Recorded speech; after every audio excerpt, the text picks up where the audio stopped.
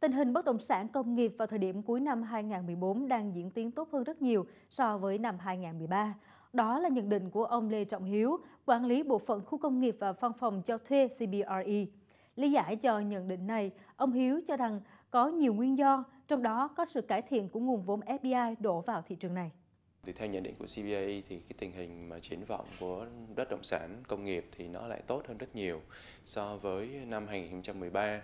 thì ờ, điều đó là xuất phát từ những cái lý do chính nào? Ờ, thì chúng tôi có thể chia sẻ một vài những cái ờ, lý do chính như sau. Thì thứ nhất là cái nhu cầu nó tiếp tục nó gia tăng. Tại vì theo như là đánh giá của tổng cục thống kê cũng như là của bộ kế hoạch đầu tư, thì cái FDI hay là đầu tư trực tiếp nước ngoài nó ngày càng đóng góp Ờ, lớn hơn cho cái sự phát triển kinh tế của Việt Nam. Thì theo như cái nguồn thống kê hiện gần đây nhất thì năm 2013 thì cái đóng góp của FDI vào GDP nó chiếm đến gần 20%. Do đó thì ờ, chính phủ Việt Nam tiếp tục coi cái việc thu hút đầu tư nước ngoài là một trong những chính sách trọng tâm. Với cái việc mà Việt Nam tham gia như là ngày càng một sâu và rộng hơn vào cái nền kinh tế thế giới, thì trong năm 2014 thì chúng ta có thể nhìn thấy là khá nhiều các cái dự án đầu tư nước ngoài họ đã mở rộng và triển khai tại Việt Nam trong nhiều lĩnh vực tập trung vào hai nhóm. Nhóm thứ nhất là về điện tử và cơ khí chính xác. Ờ, cái nhóm thứ hai là cái nhóm liên quan đến những cái ngành, gọi là, ngành truyền thống mà Việt Nam vẫn có thế mạnh từ trước đến giờ. Ví dụ như là về dệt may ờ, về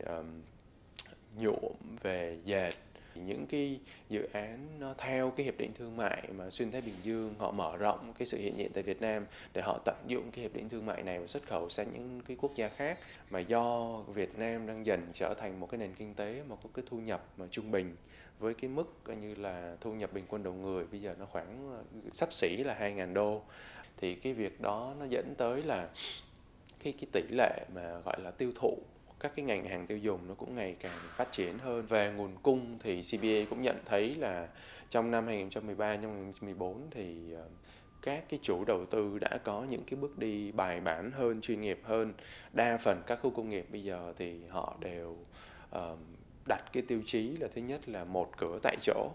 cái thứ hai là sản phẩm nó cũng đa dạng hơn. Trước đây chúng tôi có nói về cái việc là đa phần ví dụ như nhà xưởng cho thuê thông thường diện tích nó chỉ khoảng 4 năm ngàn mét vuông diện tích lớn. Thì bây giờ các chủ đầu tư đều đã tích cực như là diện tích nhỏ cũng có diện tích lớn cũng có. À, nhiều chủ đầu tư đã có những cái bước đi gọi là chuyên nghiệp hơn đón đầu. Thì trong 2013 2014 chúng ta có thể thấy một số những cái tập đoàn mà uh, đầu tư công nghiệp uh, đã có cái cái cái tiếng tăm ở Việt Nam hoặc là um, có cái năng lực ở Việt Nam thì họ mở rộng cái sự hiện diện. Ví dụ như là V-Ship thì trước đây thì chỉ có V-Ship 1, V-Ship 2 Bình Dương. Um, trong 2013, 2014 thì chúng ta thấy là họ có thêm ví dụ như là V-Ship ở ờ, Bắc Ninh, V-Ship ở Hải Phòng. Nên tóm lại là chúng ta thấy là cái nhu cầu thì nó tăng lên chủ đầu tư hay là nguồn cung nó có cái sự đón đầu và bài bản hơn như vậy nên nó, nó góp phần làm cho cái bất động sản khu công nghiệp nó trở nên khởi sắc hơn trong cái năm 2014